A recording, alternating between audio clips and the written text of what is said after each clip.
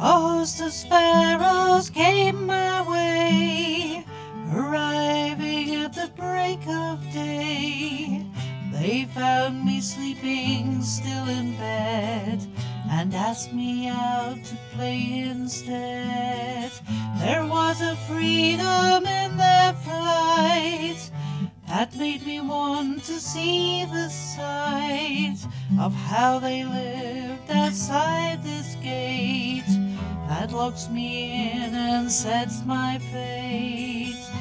They spoke of things I did not know, of places where my thoughts could flow, ideas and words that I could share with others who would also care. To seek the truth and hold it dear, to pray and worship without fear, read and write in open light and hear the music of the night.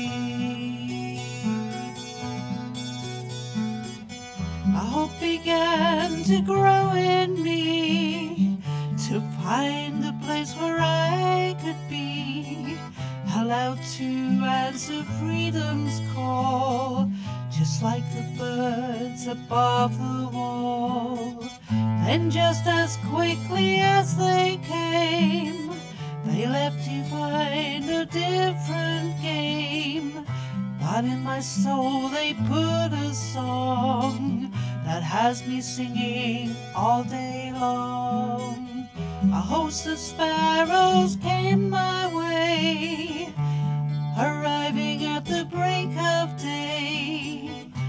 They found me sleeping still in bed and asked me out to play instead.